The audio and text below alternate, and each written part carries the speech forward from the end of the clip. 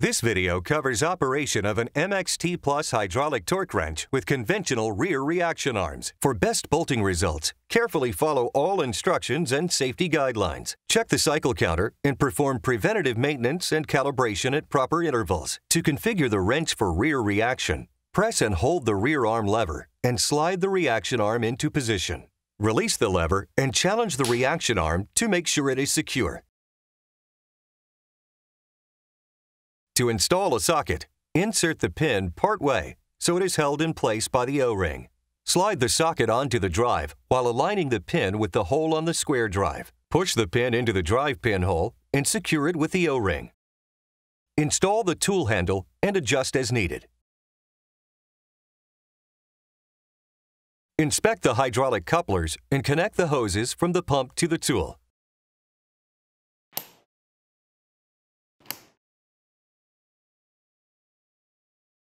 Follow pump instructions to power up the pump and set the pressure to the corresponding target torque.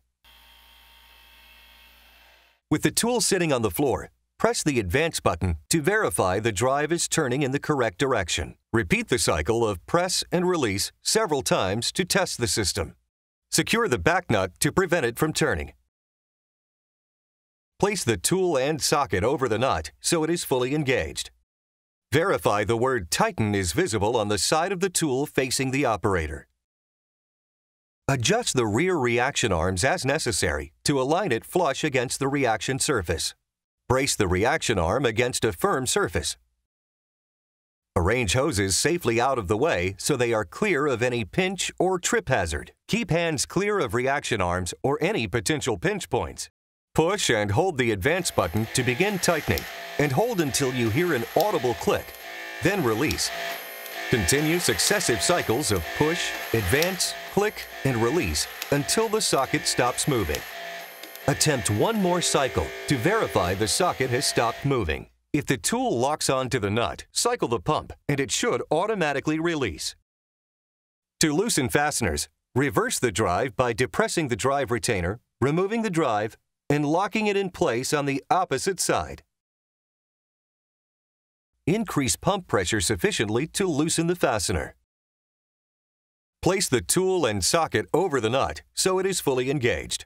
Verify the word loosen is visible on the side of the tool facing the operator. Make sure the reaction arm is braced against a firm surface. Keep hands clear of reaction arms or any potential pinch points. Press and hold the Advance button to begin loosening, and hold until you hear an audible click, then release. Continue successive cycles of push, advance, click, and release until the nut can be loosened by hand. If the nut will not turn at maximum pressure, you may require a larger wrench for loosening.